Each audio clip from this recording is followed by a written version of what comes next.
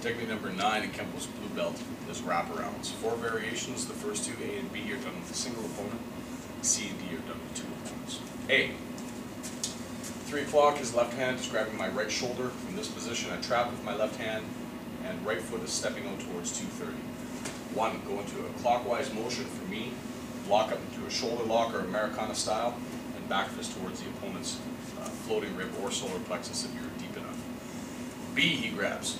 From this position here, he may be stronger, straight arming you, whatever. You just don't feel like you could come around in a clockwise style motion. So I trap, step out towards 230, get the center lock on the elbow here, okay, from this position come all the way down and uppercut towards the opponent's temple.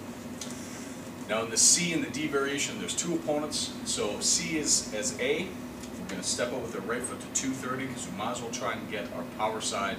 If we're going to sacrifice to one side or the other, I'd rather get my power side really solid. So we step out 230, try and lock up both arms and back fist towards both opponents' kidneys.